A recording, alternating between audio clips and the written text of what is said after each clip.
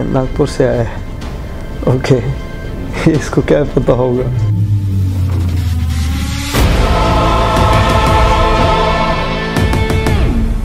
He has got some types. He has got a reach. Challenge my limit.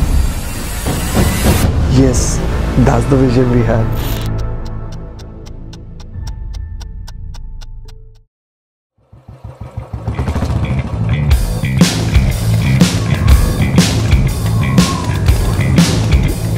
It was my uncle in 1972 when I was born. Uh, he went uh, pillion with one of his. Actually, four of them started off a journey all the way from Nagpur on Jawa motorcycle. Two of them came back just about close to Pakistan or something. Mr. Jagtar Singh Sethi, my dad's younger brother, and Mr. Ullas Kelkar, his friend. They continued all the way up to Europe into UK, and they ventured there when there were no there was no google. This is in 1972 and they had to plan that itinerary meticulously for a period of almost a year before they could start the journey. So when i used to hear those stories in my childhood days and see those pictures it got me excited. I couldn't do something similar as uh, excited as uh, what he was able to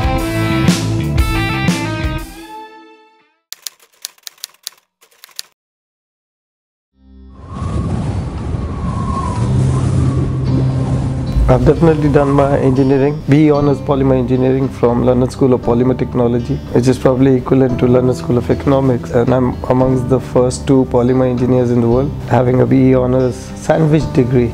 It's part of a course when we graduated, there's a one year industrial training. While I was studying in uh, UK, used to work over the weekends, earn my money, save my money and went out and ventured into Europe on a Eurail youth pass valid for 30 days and then explored almost 26 cities in Europe starting off from Amsterdam. So there are some wild and different experiences all the way down to Greece and then back. And used to work for almost 8 to 10 hours a day exploring each of the cities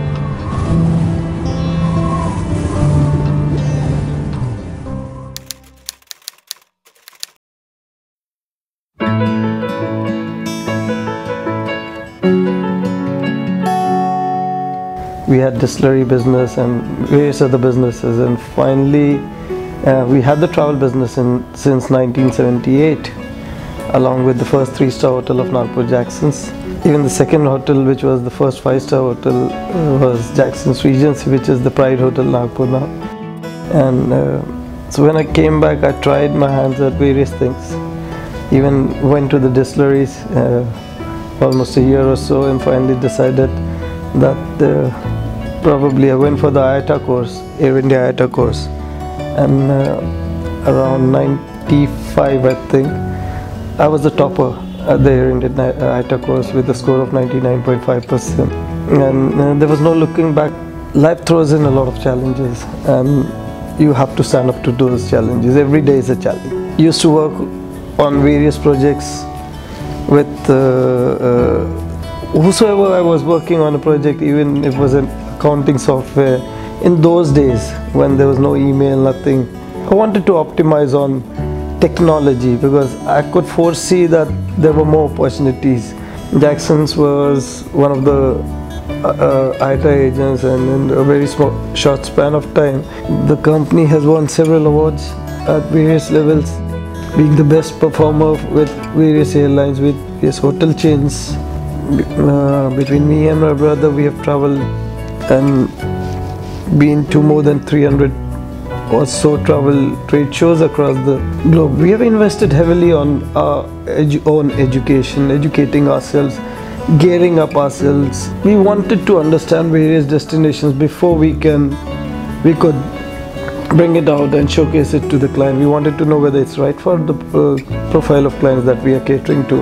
In the initial days when I got into the business, there were not probably more than a couple of handful of flights operating, airlines operating, and uh, Jet probably started around the same time. East West was one of the first few airlines the team of East West, whenever I used to travel to Mumbai or wherever, uh, used to call me the Prince of Nagpur.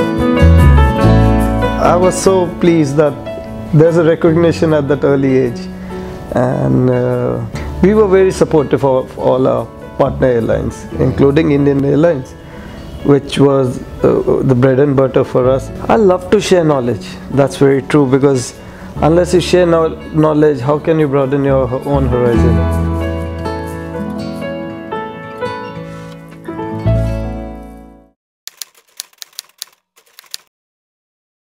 Once I was uh, in London flying back on Qatar Airways, they had just started a flight into uh, Nagpur. I was the only passenger in business class on that flight way back during those days. I asked the check-in counter staff that how is the flight doing and uh, she checked up my PNR and said where on earth is this place Nagpur? I said I need to see to it that people know where Nagpur is on the map. Not only Nagpur, there are many more country uh, cities, even countries like these which don't have a prominence or a presence globally. It had to come on a global map, and uh, that's what triggered. And uh, I realized that if I start sharing my knowledge, start promoting the region, obviously over a period of time people would start recognizing where uh, Nagpur is and what the benefits are started discussing with various rep companies, uh, tourism boards that there are more better opportunities in the early days there were only a few who felt that there were opportunities in the tier 2 tier 3 markets and agreed to come down and share their products and knowledge with our travel trade friends. So rather than restricting this knowledge within us, we could have benefited out of this. We wanted to share it with our other uh, travel fraternity partners and we grew together.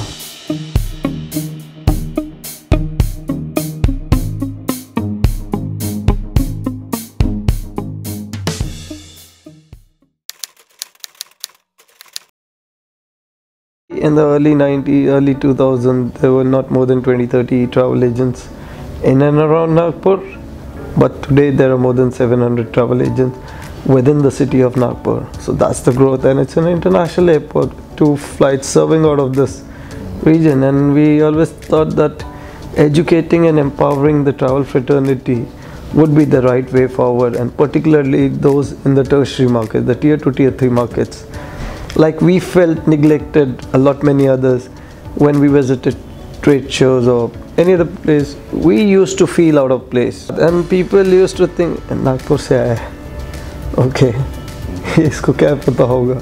So i used to calmly listen and they used to realize themselves that he has got some taps he has got a reach. We are staying at the same property. Why has he got a suite room? What is it that he does?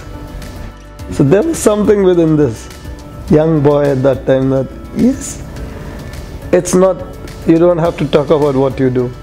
Many from the uh, metro cities claim that, oh, I, I do 50,000 passengers, I've done 10,000 passengers, whereas in certain destinations, the total number of passengers traveling to that destination is not equivalent to 10,000. We always talked about genuine figures, true figures. Rather than speaking of figures, we always used to perform and let others speak on our behalf. That's what I always tell others that don't fake, don't give wrong numbers. It's easy to, it's so foolish to not to understand. It's easy to figure out. And uh, especially those in the industry who have been in the industry for long do understand the nitty gritties well.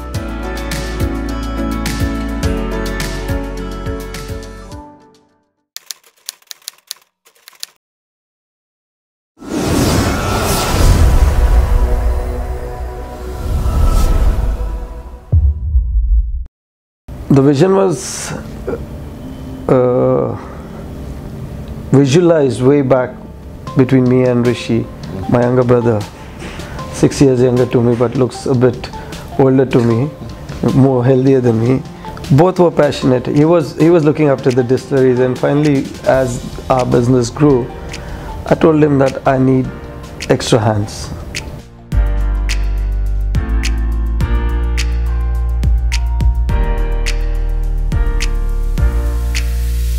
I have to travel, so I need you here to extend more, or so that we can reach out and improve our business. And in 2008, I got the opportunity to create the TAAI Nagpur chapter. That's what took me off track. Then went on to serve the managing committee. Thereon became the honorary secretary general of TAAI, and the national body served at that level, and uh, gave my best. I somehow felt that today or tomorrow I need to do a lot of handholding for the travel agents from our city, Nagpur itself, and showcase them uh, because Qatar had withdrawn their flights out of Nagpur, and that was a big blow for my complete team at hand, and we were very upset. I was traveling, I was in Switzerland when I got that, and I couldn't sleep for a couple of nights. That we put in so much efforts, and during the season, peak of season, they had to withdraw and they were not at fault. The yield and the loads at that time was not so great, mm, so never blame them. Uh, the market was not so receptive at that very moment, and uh, it had to grow. And we saw to it that we, as citizens of Nagpur, we had to do something to bring in the. It, the outbound was always good, but it was the inbound that because like I said, no one knew where Nagpur was. So uh, that's when we got that opportunity, and I said, let's do, let's showcase the products that Jackson's has. That's the parent company of GPS. Uh, that's where GPS is born out of.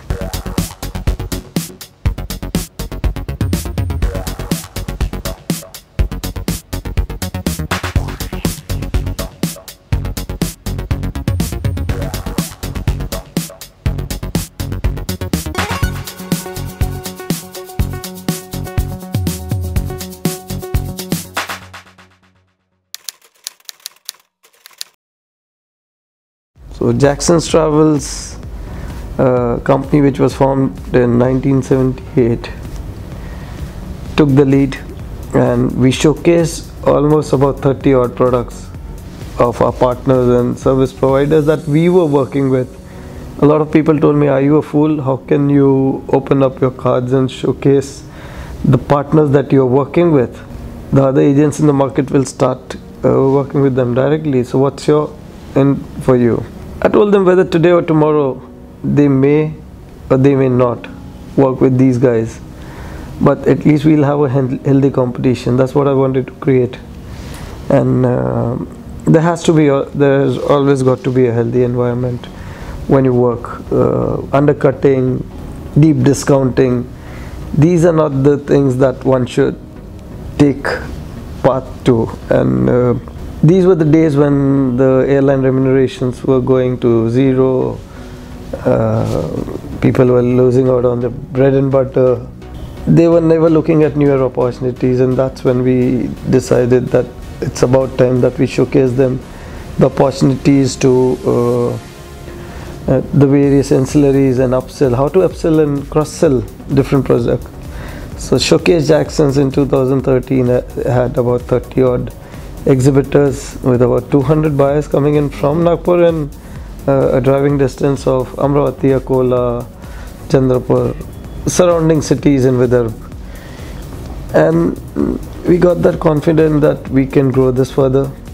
A lot many of our exhibitor friends told us, complained to us rather, why did you not invite us? We would have also loved to be a part of the same. In the first day itself, we were actually looking at getting 10 exhibitors within the same premises, Hotel Center Point. Uh, I had booked about 10 or 12 rooms. And a week prior, I had to come back to them that I need a larger venue to accommodate 30 exhibitors with almost 35 rooms and uh, maybe a, a, venue to cater to about 150 odd as against just uh, 20 30 people and that was the beginning. Uh, 2014, we reinvented ourselves and we called ourselves Global Panorama Showcase. The initials are GPS, as everyone uh, knows in the industry now. The number of exhibitors staying back for the B2C was much lower. So we decided to discontinue that around 2015. And 2016, uh, when I came out of I, I was able to focus more on my business and we decided that we go, uh, we get wings. So the new logo that you see with the wings. So GPS got wings and we ventured out into Ahmedabad, Chandigarh, Kolkata and Coimbatore in its first year. 2017 uh, we replaced Co uh, Coimbatore with Kochi and we added Pune as well. Then we added Lucknow uh, and the next year today we in 2000 19 we stand at uh, almost 8 GPS cities and 4 eco-connect cities. So Nagpur, Hyderabad, Ahmedabad, Chandigarh, Kolkata, Kochi, Pune, Lucknow these are the 8 GPS cities and eco-connect. Vishakhapatnam, Indore, Jaipur and uh, are the 4 eco-connect. Within GPS we have several verticals now. So GPS the parent uh, it's a separate entity since 2017. Prior to that, it was part of Jackson's Travels. We have GPS, we have EcoConnect, which is the smaller ta- one day tabletop format. GPS is a full two day format, one day of education, empowering the. And we had a gathering of almost 600 plus, uh, 650 plus on the day one itself during the presentation. And he asked me, Do you know how big a CSR activity you guys are doing?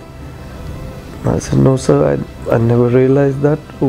How exactly and what is it that you think that we are doing right?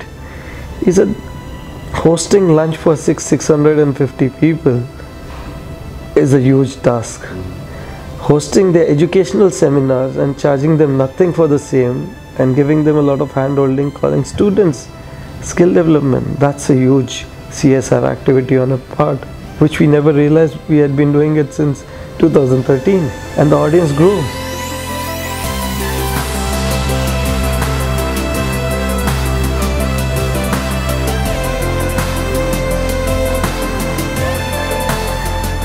As on date, we have a following of more than 50,000 travel professionals across the industry over the years who have participated or got acquainted with us. All of this came into place when Tanushka came back to me. She joined me very early, my daughter. At the early age of 17, she had the opportunity to go abroad and study, but she said, Who a better teacher than you? So I would train under you. And at the age of 17, like I went off. She started working and addressing. That's when we got Cvent on board in 2016, when we got the wings. And uh, even Cvent never realized that we could be one of the largest clients in India.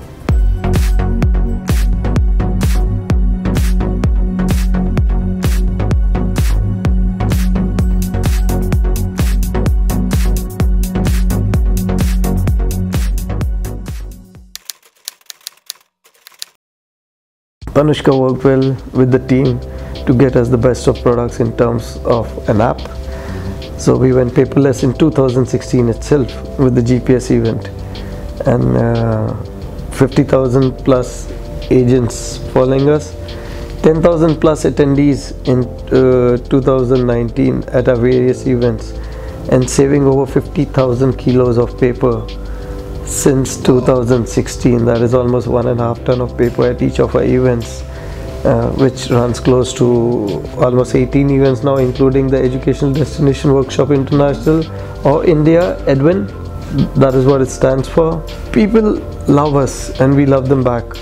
They have accepted us with open arms and we respect and regard that. So we started setting benchmarks for ourselves that how can we better this? How can we improvise it? And we set something as a goal for ourselves in 2016 that by 2020 we have to go green and digital completely. And now we sit at two, uh, 2020 so instead of playing a test match or a 50-50 we are playing a 2020 and we have gone green. We are completely digital. We gave away a close to almost 500 bottles, steel bottles, the Go Green bottles. We have replaced all plastic bottles. We have moved away from flex. We were using almost 10 to 12,000 square feet of flex at every GPS event. So you can just imagine that's a saving of 48, uh, 12, 96,000 square feet of uh, plastic waste getting redundant, not getting generated at all. People may call me visionary, but I, I, I could see into the future that this could lead to huge dumps. So why not move away? So we try as of as Harmandeep, as Rishiraj, as Tanushka, we try to do our bit, whatever best we can. GPS is the only prob probably one of the only digital and uh, e-event in the world right now. Go paperless. You need not carry a single piece of paper with GPS. You can upload every single document that you want to within the GPS app. It will be available to all the buyers. All the attendees are listed within the GPS app. That's what my daughter has created. A lot of information is available, even the speaker, the sessions, uh, everything, all the presentations are available within the app for our buyers. The attendee list, you can check e-contacts, you can dial from within the contacts. Exhibitors have the opportunity to scan and create a list of questionnaire themselves what they would want to ask. In addition to the questions they the uh, buyers have already asked uh, answered when we collected the data. So uh, go green go digital go paperless is what we'd say. Put in your a bit of your own uh, effort one complaint that my wife does i had a medical condition suffering from colitis because i i never used to eat. I had the hunger for work but not for food. So she told me what are you working for? And she put me on the right track. So to my parents and my uh, wife they, they they my children they put in a lot of effort to get me back on track and told me that life is not only about work. You you need to stay humble. That's what my parents taught me. My grandparents taught me. The youngsters including my daughter are the new generation. And uh, if we have to look at their future and their our grand my grandchildren's future then a sustainable and responsible environment is something that one should look towards. You have to have that hunger. You have to swim against the tide. Not everyone can but uh, there are others who can hold on to you and help you cross across. Probably i'm one of those who can help people cross across but at the same time learn. So never say that i know everything. Even as on date as i speak out here i would say i'm an opportunist.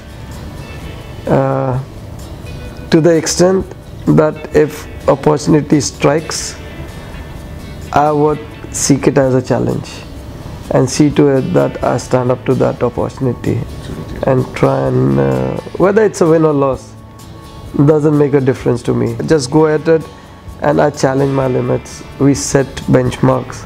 The complete team of gps uh, be it rishi be it tanushka be it madhu for that reason our ed be it uh, uh, raju our ceo be it sovi uh, ed be it ankush everyone is a go-getter. So that's what helps the team come together work together play together and see to it that we stand up the new digital format. Oh god. It was a task took me two years to get it implemented but yes that's the vision we had. So you have to have you have to set goals for your own self, for your team and live up to those